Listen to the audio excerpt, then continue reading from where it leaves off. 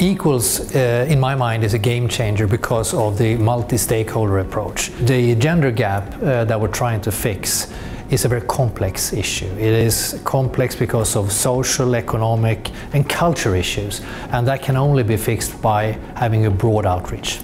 We believe strongly in, in gender equality. Uh, SDG number five is, is, at heart of the GSMA and all mobile operators. Uh, we are a mirror of society. 50% of our customer base are female and uh, we believe that mobility and mobile phones and connectivity is a key enabler for, for people to get involved and financially included. The single most uh, important achievement that Equals can have is to make sure that we make tangible results tangible uh, closing the gap results, follow up on actions, making sure that we have actions that, that is uh, clear and concise. Uh, I don't think that we need another report, I think we need actions to close the gap.